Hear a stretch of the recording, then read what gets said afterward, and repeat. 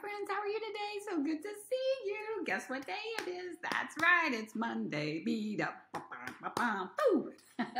Added a little, kicker there at the end. Want to keep you guessing. All right, my friends. It's so good to see you. This is the my favorite day of the week. We're here together. Looking forward to connecting.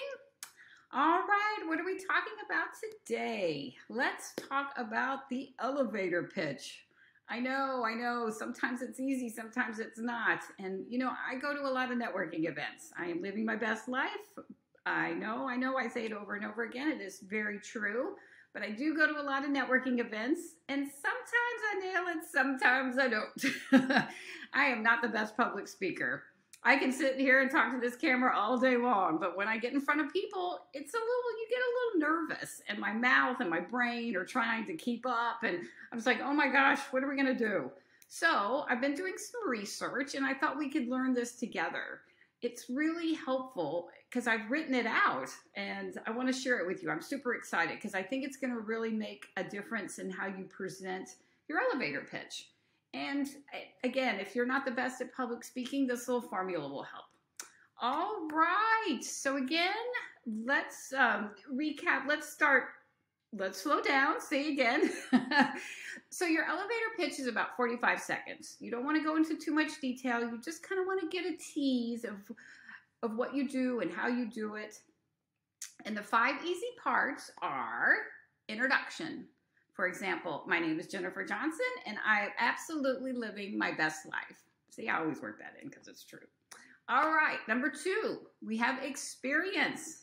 My superpower is connecting people and making connections that change lives. Come on, you wouldn't want to hear more after that. That's pretty good. I'm telling you, I've been working on this. All right, goal. I help business owners expand their reach and increase profits. These are very simple, short sentences and to the point. All right, solution. This one's a little longer because you have to provide value. All right, it is my honor and my privilege that I am the owner and founder of three professional networking groups. You can think of it as a mastermind, sales strategy, referral community, all rolled up into one fun monthly meeting. That's the solution. So, what's the plan? If you plan. If you think about it, we are all one one connection away of something fantastic happening in our lives.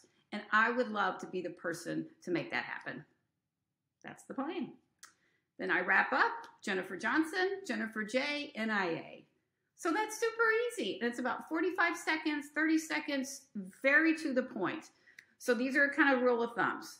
Keep it short, keep it concise, 100 75 to 100 words, 30 to 45 seconds. Speak from the heart, make it personal. People will understand that. Even if it's not a flawless presentation, hello, uh, they will hear your enthusiasm and your sincerity, and that will come across in droves. All right, again, keep it simple. We are not in your industry, we don't understand all the tech. We don't understand all the jargon. So just keep it simple, not too much detail, just to enough to um, tell us what you do and why you love doing it. All right, and I think this is important to say your name again at the end, which ties into my next tip. If you are in the audience, take notes because you're not going to remember once everybody goes around the room. Take notes and jot down who you want to meet.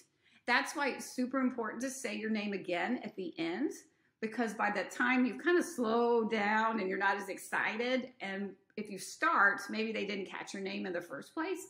So again, say your name at the end. I find it very helpful. So I'm just saying that for me. All right, a recap.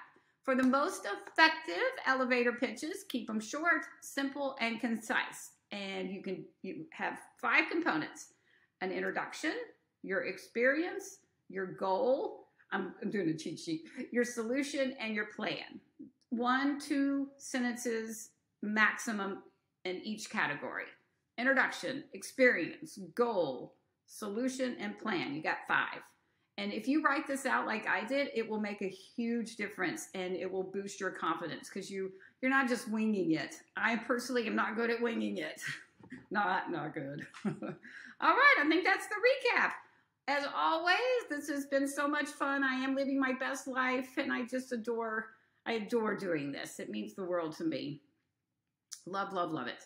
Okay, be safe, be well, my friends. I will see you very soon. And if you want to get together and practice, I would love that. I would love, love, love that. You can never practice enough. Practice, practice, practice. Record it. Talk to yourself in the mirror. Make a spouse listen to you over and over again. I'm going to go find Mark and make him do it. He's probably going to run out, run out of the house. All right, now I'm rambling. be safe, be well. I'll see you soon. Thanks for coming to Monday Meetup. See you soon. Bye.